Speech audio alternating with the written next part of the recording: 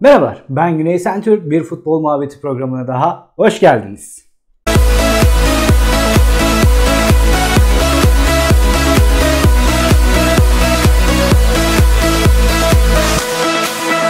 Evet, gündemimiz oldukça yoğun. Galatasaray yönetimi oldukça fazla eleştiriliyor.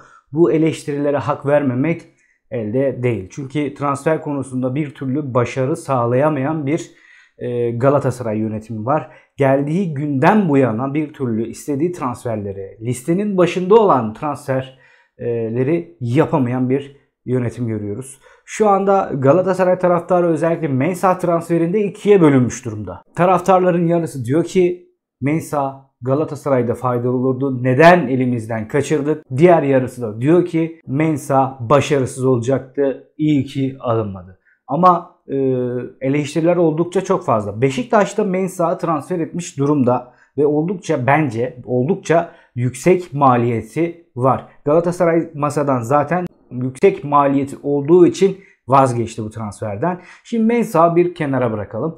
Öte yandan da yine e, kaleyi sağlamlaştırmak adına bir transfer yapıldı. Fatih Öztürk Galatasaray'ın e, kalesine takviye olarak transfer edildi. Okan Koç'un performansından memnun olmayan Fatih Terim ve ekibi uygun gördüğü isim Fatih Öztürk oldu. Tabi bir sürü aday vardı burada. Özellikle Beto'yu konuşabiliriz. Sevici konuşabiliriz. Ee, Lunk'u söyleyebiliriz. Ancak onları, onlarla anlaşma bir türlü sağlanamadığı için Fatih Öztürk'le anlaşıldı. Aslında burada Fatih Öztürk çok eleştirildi. Burada eleştirilerden bir tanesi de ben bana ait. Ben de istemiyordum. Ancak şu saatten sonra yapacak bir şey yok. Ee, Galatasaray kim geldiyse desteklemek zorundayız. O formayı giyiyorsa mutlaka destekleyeceğiz. 4 ee, milyon TL para alacak.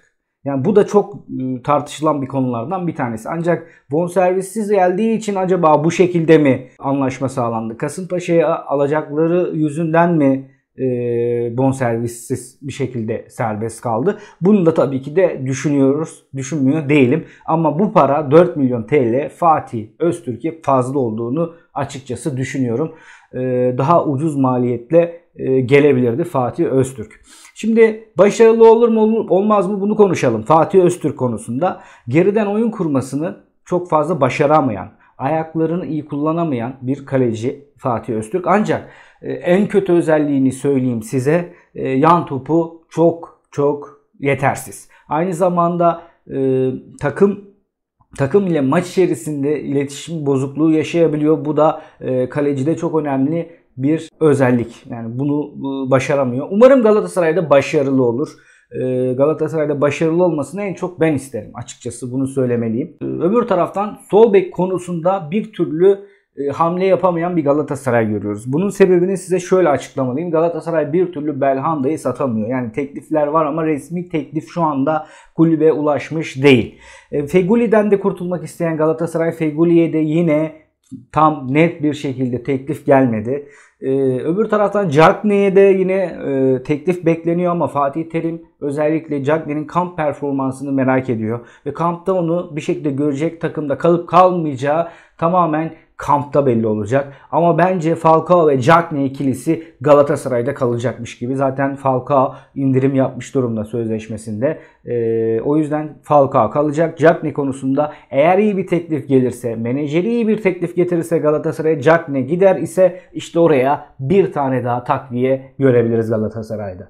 Şimdi orta sahada Galatasaray'ın özellikle Lemina konusunda e, net tavrı vardı. Lemina'yı istemiyordu. Sebebi de şu çok fazla sakatlandığından dolayı Lemina Fatih Terim tarafından veto ediliyordu. Ancak oraya bir türlü e, transfer yapılamadı. Bu çok önemli. Yani bir sürü aday geldi orada. Mensah, Lerma, işte Dokare yani bir sürü isim söyledik zaten canlı yayınlarda yaptığımız konferans canlı yayınlarında ama maliyetleri Galatasaray'ın bütçesine çok aşıyordu.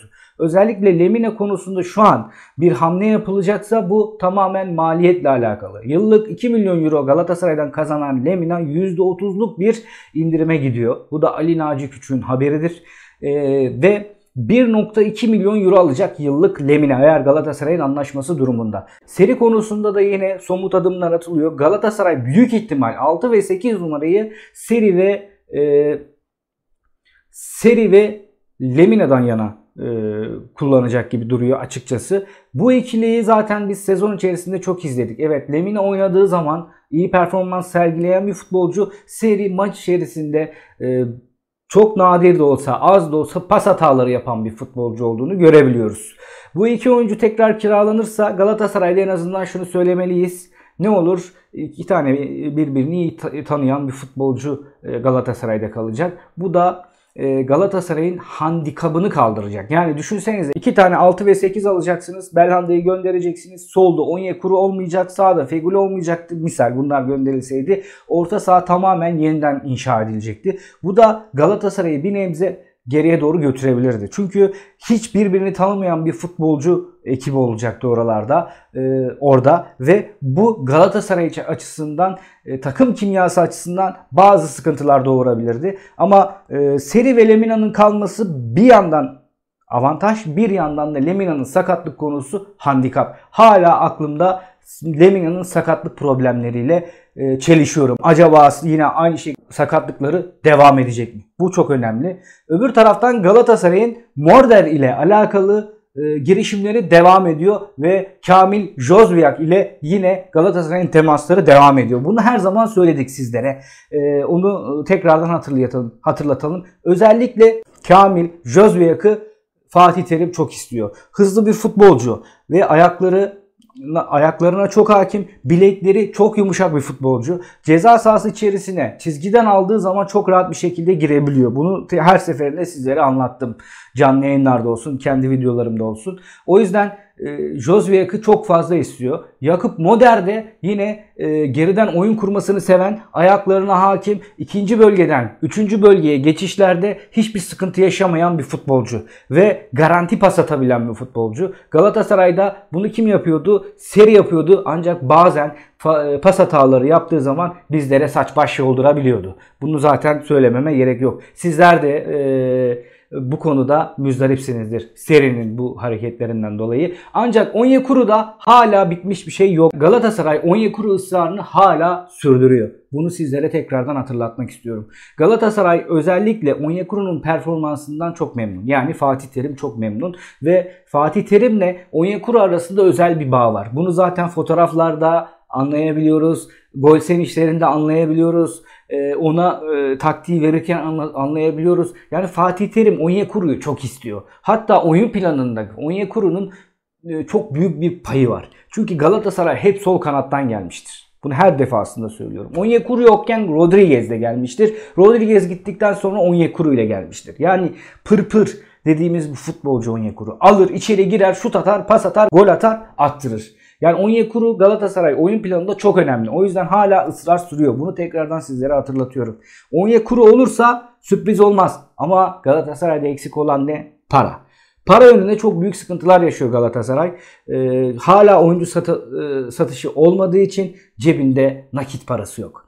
Nakit parası olsa dahi UEFA'nın kısıtlamasından dolayı Galatasaray oyuncu satmadan oyuncu alamıyor. Bu biliyorsunuz gibi önümüzdeki yıl bitecek ve önümüzdeki yıl Galatasaray rahatlayacak. Tabii ki de Türkiye Futbol Federasyonu'nun yapmış olduğu e, limit Nasıl olacak bilmiyoruz. Galatasaray'da bu yıl gelirler bir hayli düşecek. Şampiyonlar Ligi'ne gidemeyen bir Galatasaray aynı şekilde yine şampiyon olamayan bir Galatasaray, Türkiye Kupası'nı da kazanamayan bir Galatasaray görüyoruz. Bunları daha önce hepsini başaran bir Galatasaray tabii ki de limit olarak diğer takımlara göre çok fazla olacaktı ve bu sene onu görmüş olduk. Ama önümüzdeki yıl ne gibi sıkıntılarla karşılaşacağımız şu an muamma. O yüzden Galatasaray'da e, maaş giderlerini düşürmek istiyor. 65 milyon eurodan 40 milyon euroya düşürmesi gerekiyor Galatasaray'ın. Kendisi gerekiyor değil aslında ama e, fa, e, Mustafa Cengiz'in bu şekilde bir planı var.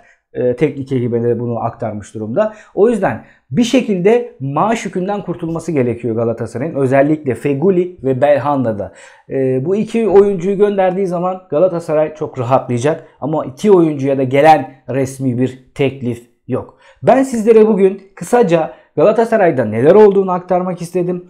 Ee, tabii ki de gün içerisinde yine e, farklı bir e, gündem oluşursa, farklı bir e, oyuncu ile karşılaşırsak e, hemen sizlerle paylaşacağımı unutmayın. Benim sizden istediğim sadece bana destek vermeniz. Bana nasıl destek veriyorsunuz? Abone olarak bana destek vermiş oluyorsunuz. Abone olursanız çok sevinirim. E, bu videoyu da beğeni atarsanız çok çok mutlu olurum. Beğeni atarsanız kanalım yavaş yavaş yukarı doğru çıkacak sizlerle beraber. Yorumlarınız da çok önemli. Yorumlarınızın hepsini tek tek okuyorum. Eksi veya artı yani görüşlerinizi benimle paylaşın. Ben de kendimi e, ona göre yönlendiriyorum. Sizlerin isteğine göre hareket etmeye çalışıyorum. E, sizler beni izledikçe ben mutlu oluyorum. Yorum yaptıkça da daha çok mutlu oluyorum. Eksi yönümü de yazın. Benim için önemli olan e, sizlerin beni eleştirmesidir. Eleştiri benim nimetimdir. Çünkü eleştiri olduğu zaman bana değer verdiğinizi hissediyorum.